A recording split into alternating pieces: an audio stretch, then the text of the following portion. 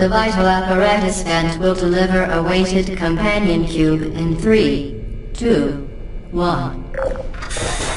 This weighted companion cube will accompany you through the test chamber. Please take care of it.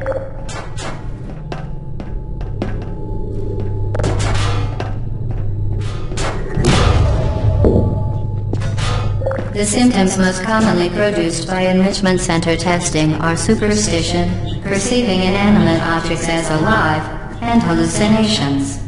The enrichment center reminds you that the weighted companion cube will never threaten to stab you and, in fact, cannot speak.